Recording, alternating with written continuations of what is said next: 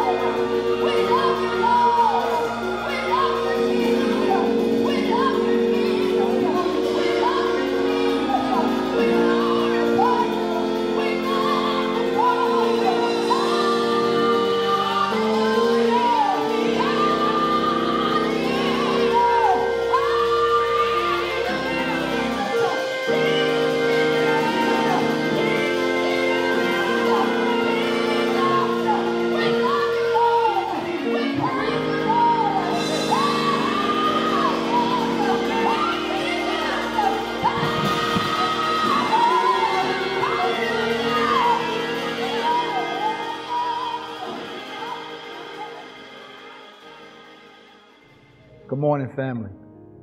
I'm Deacon Daniel White, and let us go to the Lord in prayer. Father God, we thank you, Lord, for this day that you've given us, God.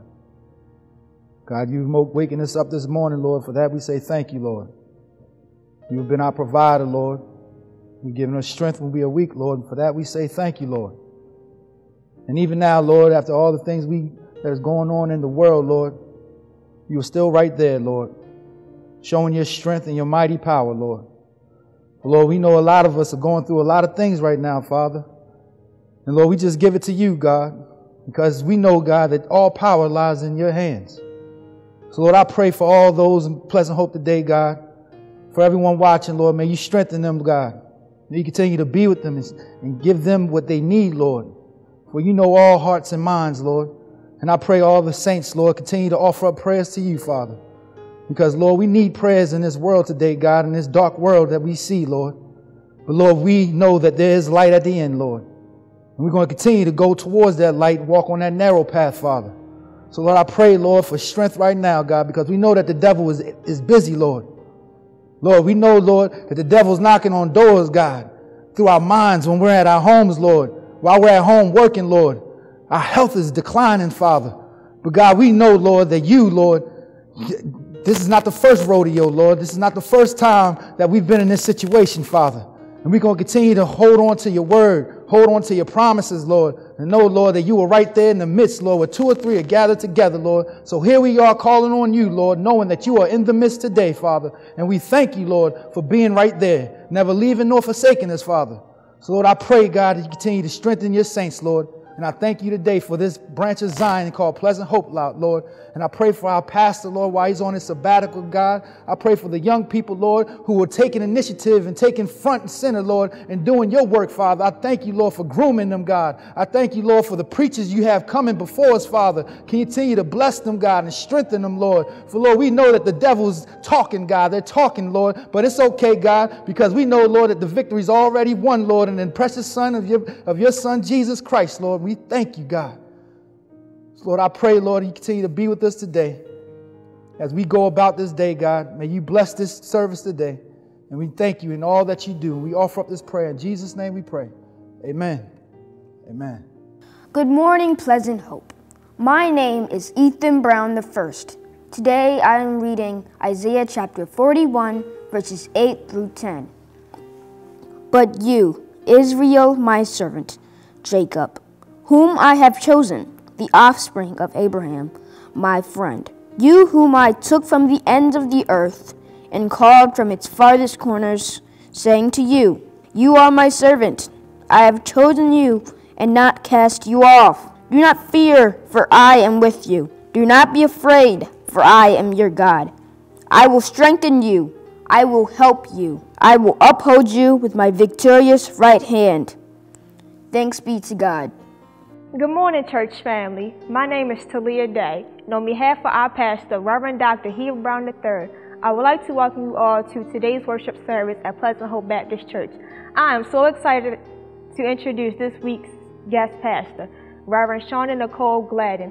Reverend Gladden writes books, she fights for under-resourced communities, preaches, and even sings. Reverend Gladden encourages us to become our best selves. We each have God-given gifts that we can use in the world.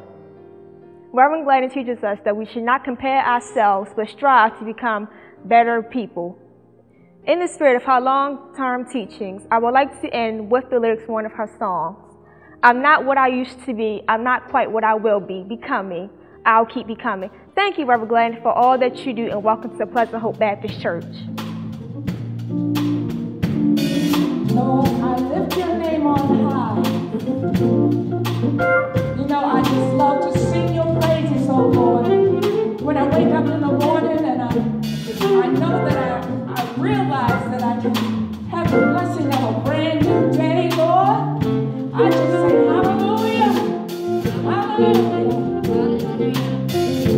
Lord, I lift your name on high.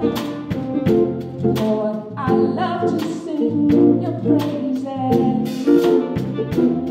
So glad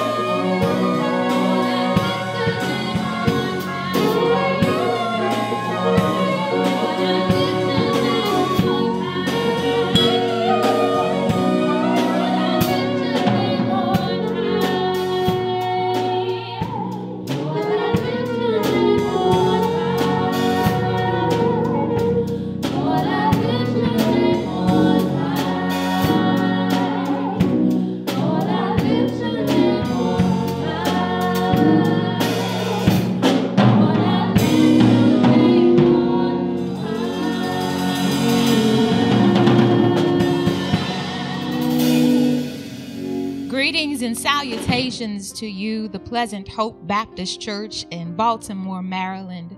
I am the Reverend Shonda Nicole Gladden, uh, the Associate Pastor here at Crossroads AME Church in Indianapolis, Indiana, and I am grateful for this opportunity to stand before you, even if it is virtual. Uh, this morning, please allow me to thank the pastor of this great church, my beloved brother and friend for more than 20 years, the Reverend Dr. Heber Brown III, and his gorgeous bride, Shantae Brown. Sis, I love you and I appreciate you. For you both for your warm welcome and invitation and even your virtual hospitality.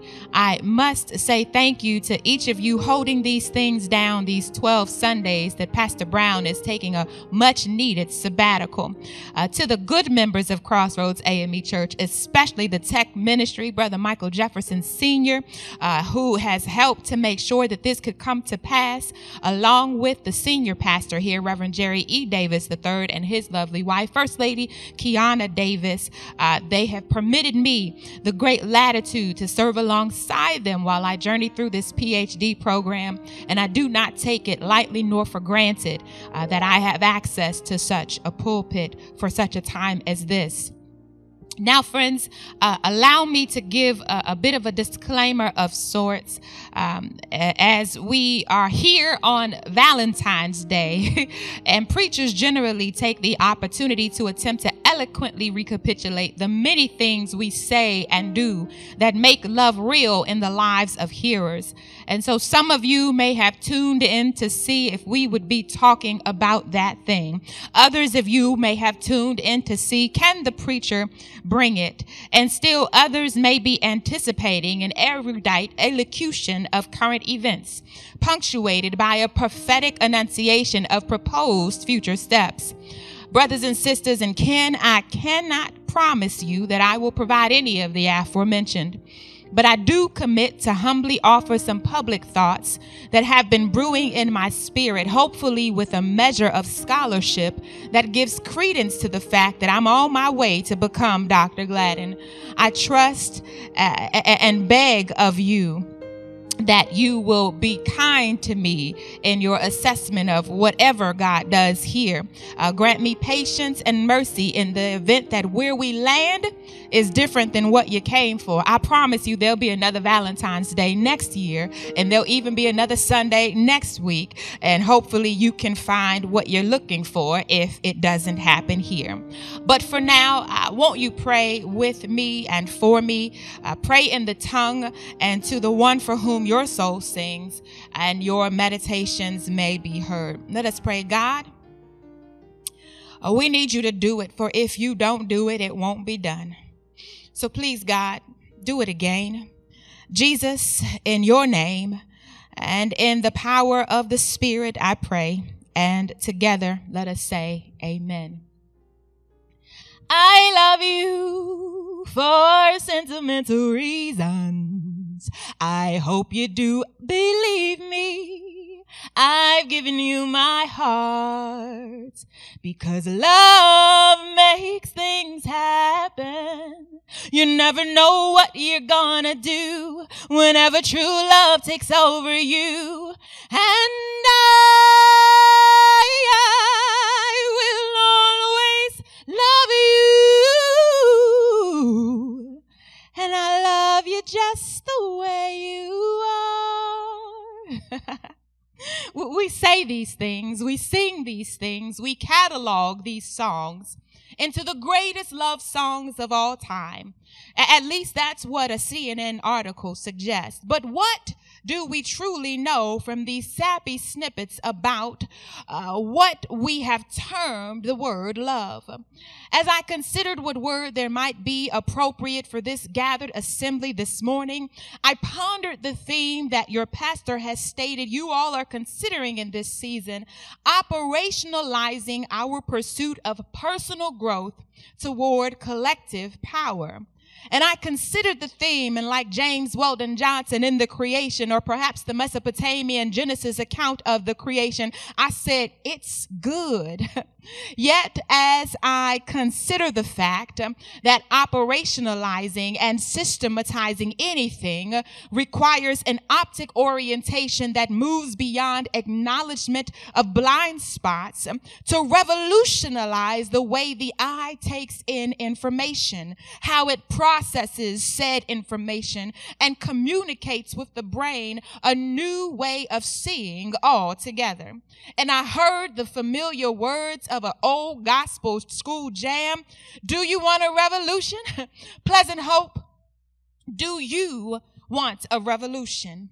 Uh, left me if you have a moment to take a journey down on the theme a revolutionary love uh, kin, comrades, and friends, revolution by definition is a forcible overthrow of something or someone in favor of a new system. It is to assert a new normal in place of what has become commonplace. It is to shift that which has been dominant to a position of inferiority for the sake of that which has historically been on the underside. a few weeks ago, we saw what was an attempt attempted coup, an insurrection by white supremacists at the Capitol. They were attempting a revolution. Uh, we see and we know um, that their conception, if you will, of what the underside look like uh, may not be consistent with what we see and experience. But on this second Sunday in the month of February 2021, I want to suggest that we can only operationalize and and systematize our pursuit of personal growth um, toward collective power when we acknowledge our blind spots and revolutionize how we do our work. Uh, brothers and sisters, do you want a revolutionary love? This morning, uh, uh, allow us to ground these thoughts uh, in the gospel according to John, the 15th chapter, verses 9 through 17, where in the New Revised Standard Version, these words are found. As the Father has loved me, so have I loved you. Abide in my love. If you keep my commandments, you will abide in my love, just as I have kept my Father's commandments and abide in my Father's love. I have said these things to you so that my joy may be in you and that your joy may be made complete. This is my commandment that you love one another as I have loved you, and no one has greater love than this to lay down one's life for one's friends. You are my friends if you do what I command you. I do not call you servants any longer, because the servant does not know what the master is doing, but I have called you friends, because I have made known to you everything that I have heard from my Father. You did not choose me, but I chose you, and I appointed you to go and bear fruit, fruit that will last, so that the Father will give you whatever you ask in my name. I am giving you these commands so that you may love one another. Thus far ends the reading of God's holy word for the people of God, and we together say thanks be to God. Uh, friends, much of the Bible is penned out of a contextual experience of Greco Roman culture. Common to Greco Roman culture was the notion of household codes. These household codes gave men unilateral authority over their wives and their slaves and adult children. So biblical passages about submission and authority, such as wives submitting to their husbands, slaves obeying their masters, these are not, as Christians assume, rooted in a culture epitomized by June Cleaver's kitchen, but rather in a culture epitomized by the Greco-Roman household codes. This system has dominated our understanding of Christian living for centuries because of the overarching influence of the Greco-Roman culture out of which the biblical writers were birthed. As Sharyn Dowd has observed, the apostles advocated this system not because God had revealed it as the divine will for Christian homes, but because it was the only stable and respectable system anyone knew anything about. It was the best that the culture had to offer at the time. I say all of this not to suggest that the Bible is any less authoritative because of the context out of which our instructions were given. The Bible, though flawed, it is still authoritative. Best believe I still believe the Bible. But that said, at the risk of being presumed heretical, I'm not sure that the prevailing interpretations of the Bible are at the best our culture has to offer. What is the best our culture has to offer? Are we bound to systems that cage and discard impoverished children to extend power and influence to the privileged? Are we bound to systems where government officials can knowingly allow pollutants to flow through pipes and cause devastatingly life-changing diseases to shorten the lifespans of children?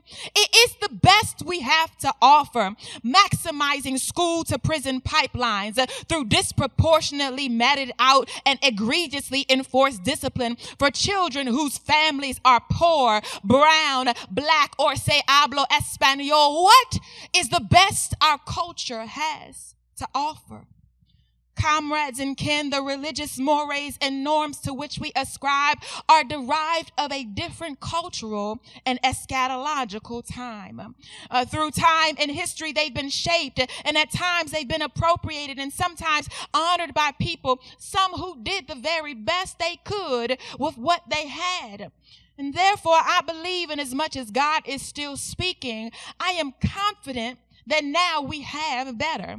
We know better. Uh, we have you. We have millennial leaders like Sister Talia Day who dances liturgically for the Lord. Um, we have experienced the richness of what it means to, to live in communities of difference uh, and we are capable of greater works. Um, you watching even right now, you may be kissed by the sun or you may be melanin deficient, but greater works are available to us. Um, greater works that see little black girls and little white girls jumping double dutch uh, and playing patty cake together in the authenticity of their different skins and like McDonald's loving it. Uh, a greater work that sees white privilege being employed subversively for the sake of brown and black people around the globe so that the systemic validity of whiteness is dismantled from the inside out. Greater works means calling for a collective outrage in the face of injustice, whether the victim looks like you or me or not. Greater works like this, like us, one nation, indivisible, under God, with liberty and justice for all. If we are going to have revolutionary love, we must work out our faith through love to accomplish justice for all. Much like our text this morning, uh, we see that love is a many splendid thing. Um, that as the gospel writer talks uh, there to the people, he, the gospel writer suggests uh, that it is through love and by love and with love that the gospel writer was called to do the very thing to which the writer was called. Beloved brothers and sisters, comrades and kin, I, I wonder this morning, do you know to what you are called? Do you know to what God is speaking into your spirit right now? I believe that if you are attentive, that you will hear the whisperings of revolutionary love.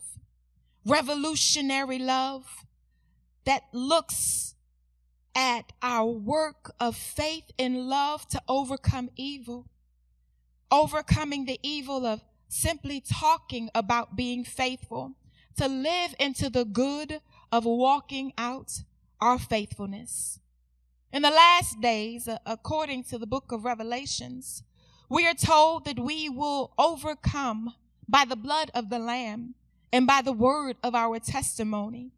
In the tradition of my upbringing, I, want to engage in little practice of testifying if it's all right with you. Uh, you see i serve in the state of indiana uh, uh as part of an entity called the poor people's campaign a national call for moral revival. Uh, uh, poor people make up the majority of the world's population. Despite this reality, poor people are by and large disenfranchised, displaced, and dismissed by the world and its systems. Here in Indiana, there are 2.9 million poor and dispossessed people. 2.9 million Hoosiers live subject to systems that are intentionally constructed to keep poor people poor. Poverty is such a system through which poor people are disenfranchised, displaced, and dismissed. But poverty, friends, does not discriminate, but, but systems do. Uh, poverty does not care if one is white, black, able bodied, differently abled, immigrant, native born, Republican, Democrat, or even independent. Yet and still, systemic poverty overwhelmingly impacts black and brown people, immigrants who look on, on those who are differently able. You see, I bought my first house right there in the city of Baltimore. And while I have moved on from that Coppin Heights community that I loved when I planted my family there for a season, uh, I, I, still understand the ways that Poplar Grove and Baker Street look different uh, than if we were to take a drive down uh, to Lexington, uh, if we were to take a drive down to the inner harbor, if we were to take a drive over to Fells Point. I understand that East Cold Spring and Hillen Road, while it may now be the home of the national treasure, uh, my fair beloved alma mater, the Morgan State University, I do understand that gentrification in Baltimore City is still very real. Uh, and now more than ever, we need revolutionary love pouring out in the cities of Baltimore, in the city of Indianapolis, in the cities wherein we may be found now more than ever. We, we need revolutionary love when I think of revolutionary love, I, I immediately think uh, of those stalwart civil rights leaders of the past. I, I, think of Fannie Lou Hamer. I think of Ida B. Wells. I think of even Sister Outsider Audre Lorde. I think even of the Reverend Dr. Martin Luther King Jr. And now I think even of a man like your pastor, Reverend Dr. Heber Brown III. Uh, uh, but, but, but can I let you know that America has a tricky way of sanitizing the narratives we tell of our revolutionaries, particularly after our systems have killed them in the flesh or even in the spirit? We get warm and fuzzy about the dream and the drum major instinct of the Reverend Dr. Martin Luther King Jr., but it was his work with the original Poor People's Campaign, much like what I'm doing, that got him killed.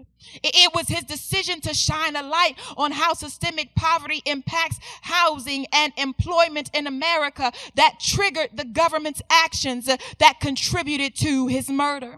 Some scholars would even suggest that the Poor People's Campaign was an integral shift uh, in the martyrdom of civil rights leaders. Those killed by state sanctioned and state influenced violence between 1954 to 1968. Reverend George Lee, one of the first black people registered to vote in Humphreys County, Mississippi. He used his pulpit and his printing press to urge others to vote. And white officials offered Lee protection on the condition that he end his voter registration efforts. But Lee refused and he was murdered.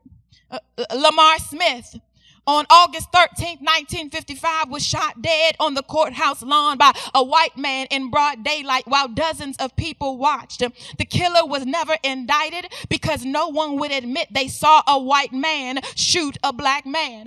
According to the Southern Poverty Law Center, Smith had organized blacks to vote in a recent election and his prize was murder. John Earl Reese 16 years old. He was dancing in a cafe on October 22nd, 1955 when white men fired shots into the windows, killing him dead and wounding two others. And the shootings were part of an attempt by whites to terrorize blacks into giving up plans for a new school. Now, brothers and sisters, comrades and kin, many of us know the names of Addie Mae, Addie Mae Collins and Denise McNair and Carol Robertson and Cynthia Wesley. These four black girls who were getting ready for church services when a bomb exploded at the 16th Street Baptist Church, killing all four of these school-aged babies because their church had been a center for civil rights meetings and marches, much like Pleasant Hope. But, but fast forward to 2014, when the Ferguson, Missouri protests following the brutal killing of Mike Brown, DeAndre Joshua's body was found inside a burned car blocks from Ferguson's protest. The 20 year old had been shot in the head before the car was torched. Darren Seals was shown on video comforting Brown's mother that same night, and he met an almost identical fate two years later. The 29 year old's bullet riddled body was found inside a burned car on September of 2016. Four others also died. Three of them ruled suicides. Marshawn McCarrel of Columbus, Ohio. We speak your name. Edward Crawford Jr., 27 in May 2017. We speak your name.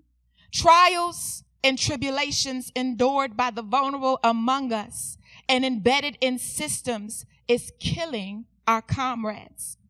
And the trauma of living afterwards is even more brutal. Beloved, on this second Sunday in Black History Month, I do not read through and share these poignant points of our painful past to cause you to feel any ways less encouraged. But I do so to remind us that many a day has gone on since many of those disparities have been wrought against us. But I want to suggest today on this second Sunday in 2021 of the month of February that we must still have our eyes awake uh, to the reality of what is going on around us. Uh, that we must still uh, understand that even now we have systems that are being deployed against brown and black and poor people trying to take our very lives. That we must understand that where we live determines if our local supermarket will carry fresh fruits and vegetables. It determines our schools and which children our children uh, which our children will attend. It determines our access to businesses and transportation options. It determines all of what we have access to. But Pleasant Hope, you embody the revolutionary love you embody what God has available for the people of Baltimore City.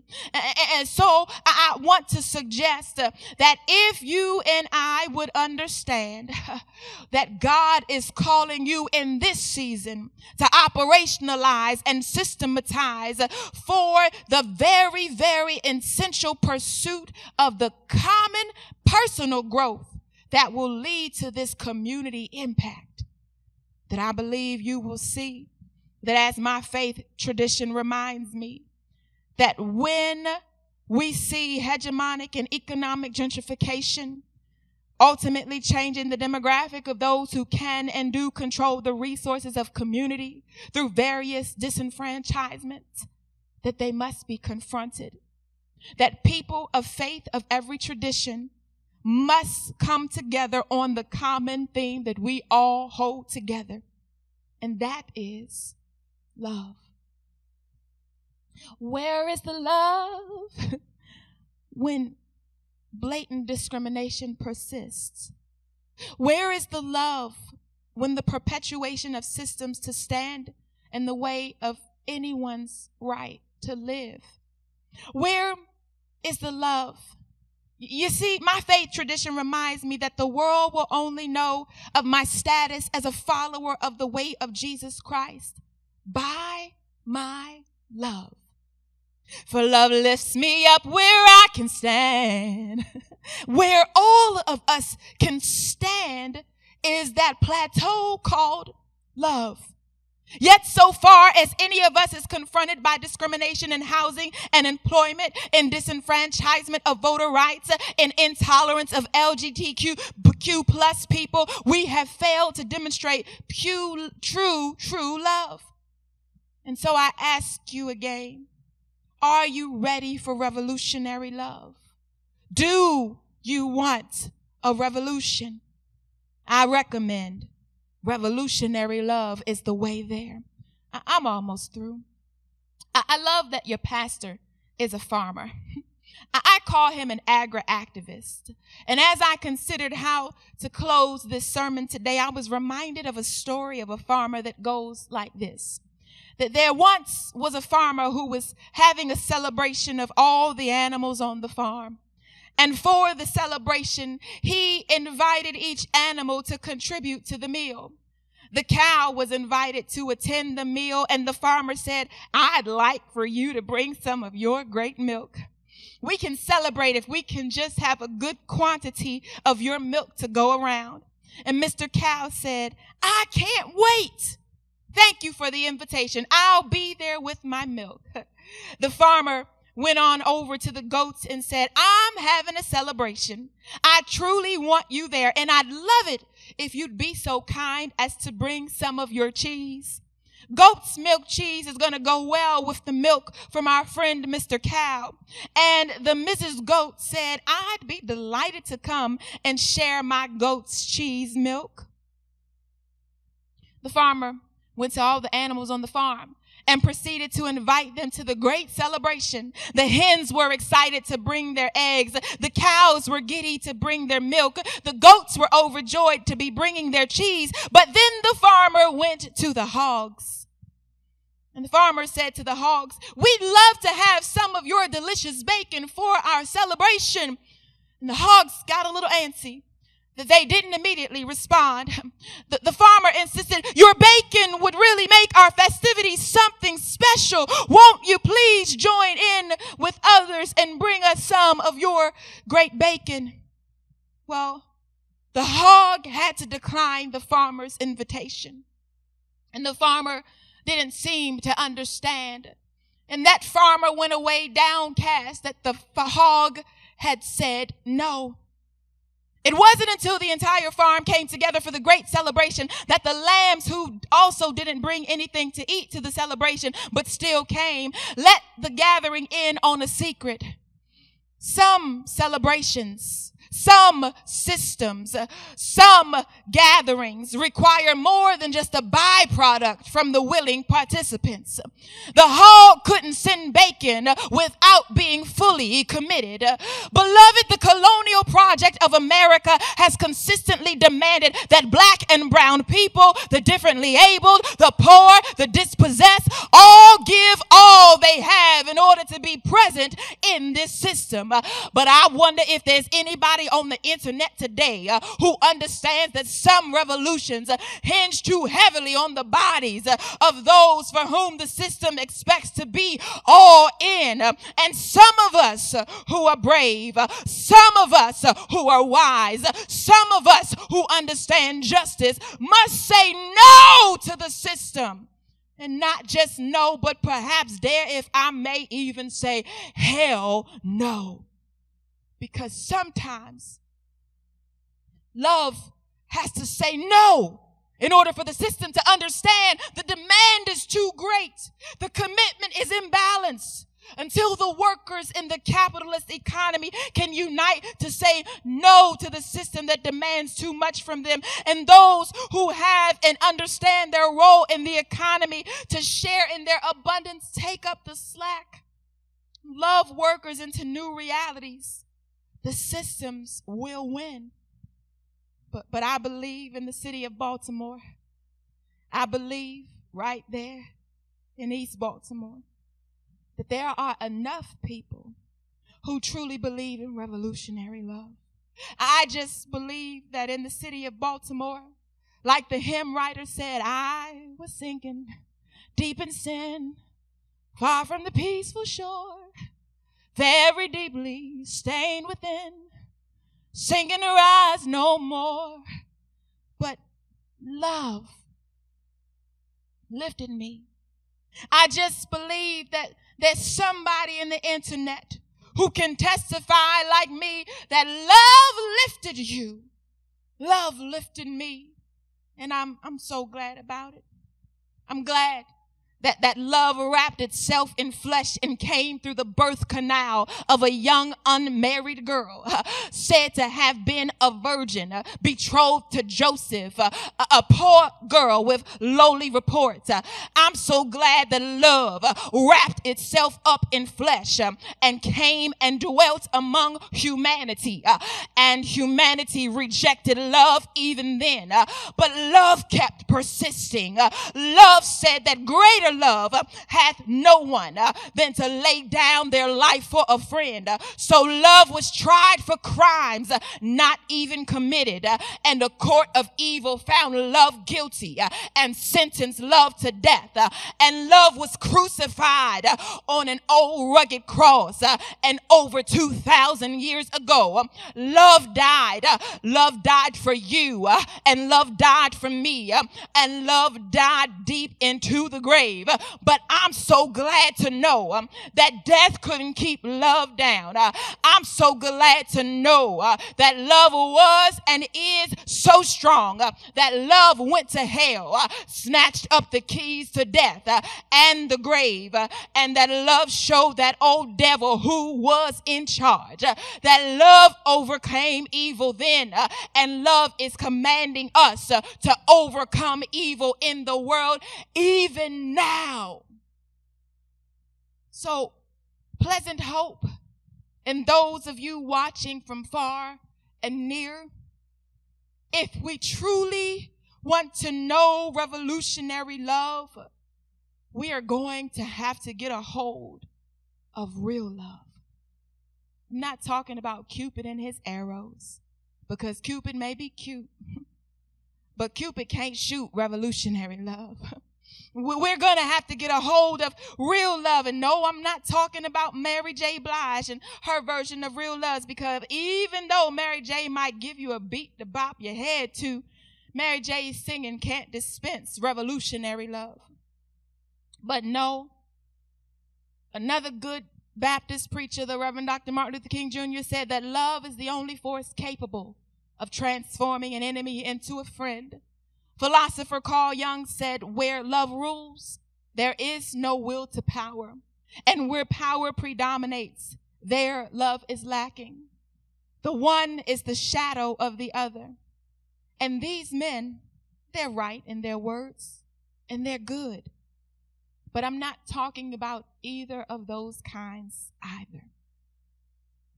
I'm talking about the love that is spelled J E S U-S. Not the Jesus fashioned after our own ideas about who he is. Not the Jesus that we put in the Sunday go to meeting box. Not the Jesus that co-signs our brand of morality, but I'm talking about the Jesus about whom John writes. For God so loved the world that God gave Jesus that whosoever believes in him shall not perish, but have everlasting life. I'm talking about the Jesus who is both a prime ancestor and a promised sojourner, with whom we will be reacquainted at the eschatological end of all things. Have you tried him? Do you know him for yourself? If you've never tried him for yourself, I mean, truly tried him for yourself, I recommend Jesus. I recommend completely and fully giving him your heart. I recommend giving Jesus access to those spaces and places that you've put the velvet rope up. I recommend giving Jesus an all access pass to your life, to your mind, your body, and your spirit because I just believe that Jesus alone is the giver of revolutionary love. Because just like that song we all learned when we were but babies, Jesus loves me. This I know, for the Bible tells me so.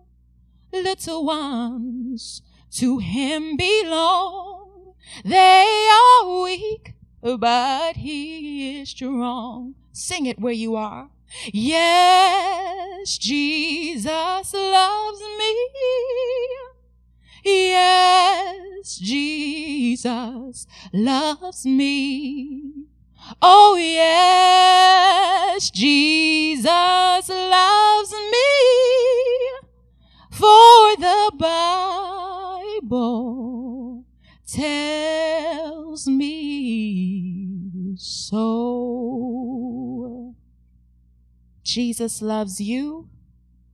Jesus loves me. And it, my friends, is a revolutionary love. God bless you. God keep you. Amen. Family, I hope you really enjoyed that word today from Reverend Gladden. That was a remarkable word. And right here at Pleasant Hope, we have so many things that we offer to not just this Pleasant Hope branch, but also to the community.